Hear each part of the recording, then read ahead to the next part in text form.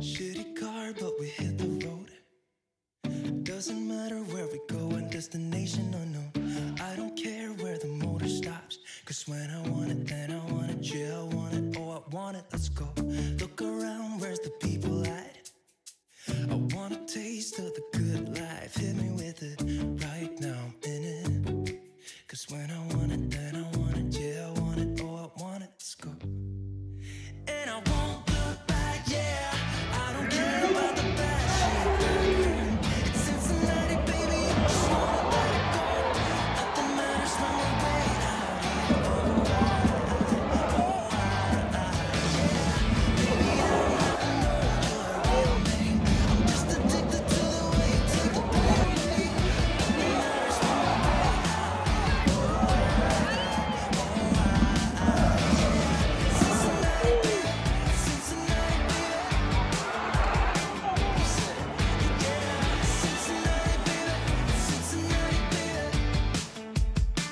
皆さんサッカー見てますか？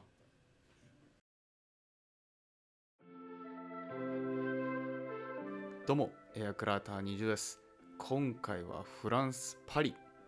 パリ・サンジェルマンの試合観戦してまいりました。その様子 Vlog にまとめたのでよかったら最後までご視聴ください。そして動画が面白いなって思っていただけたらコメント高評価チャンネル登録などなどよろしくお願いいたします。だいたい9時間ぐらいですかね。バスに揺られて早朝にパリに到着いたしました。まずはファンショップの方ご紹介していこうと思います。こちらはパリの中心街シャンゼリゼ通りにあるオフィシャルショップ。スタジアムの横にもねショップあるんですけどもこっちの方が広くて品数も豊富なので今回はこちらの方紹介させていただきました。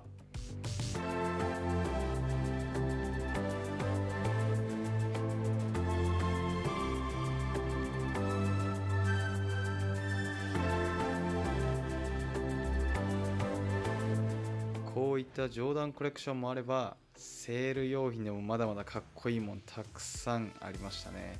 そうなんですよ。結構かっこいいのあったんで買っちゃいそうになったんですけど僕はアヤックスのファンなんでそこはちょっとグッとこらえて我慢しました。ただ全世界にはこれだけパリ・サンジェルマンのファンクラブございます。日本にもあるのかな？それではファンショップの紹介はこのぐらいにしといてスタジアムの方向かっていきたいと思います。さシュート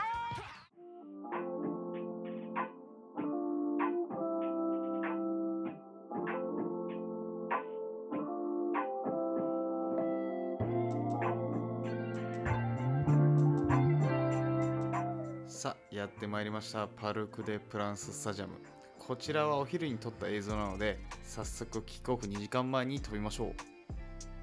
夜になるとこういったフードトラックたくさんスタジアム周り並んでまして DJ ブースもあるんですが僕は真っ先にゲートの方に向かいました。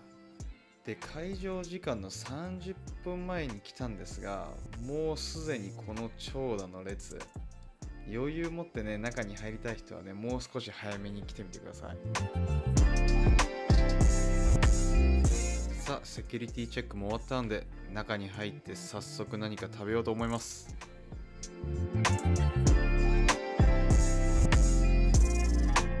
フードは種類もそんなに多くなく至ってシンプル。こういったセットメニューもあるので僕はこれにポテトをつけようかなと思います。と思ったら頼んでもないポップコーンもつけられてパリ・サンジェルマン満足ハッピーセット。20ユーロ完成でございます。いやむしろこんな量のポップコーンアンハッピーでしかありません。まあでもビールもよく冷えてるしハッピーとしましょう。とか言ってたらチーズバーガーバンズも肉もうまくてハッピー。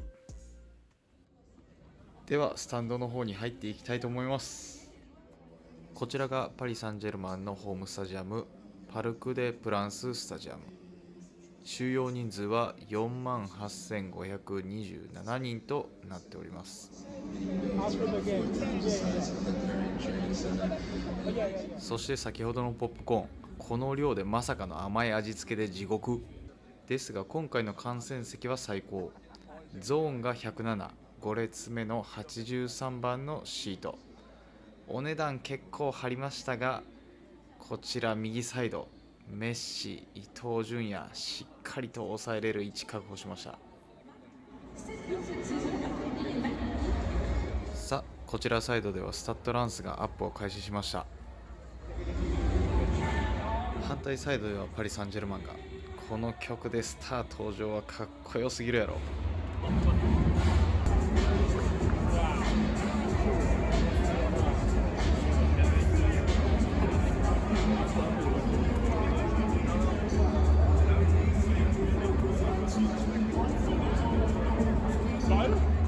して今日の伊東純也のコンディションは？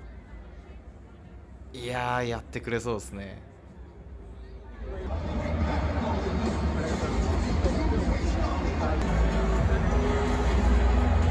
さあここから両チームのスタメン発表です。結構長くなるんで興味のない方は試合まで全然飛ばしちゃってください。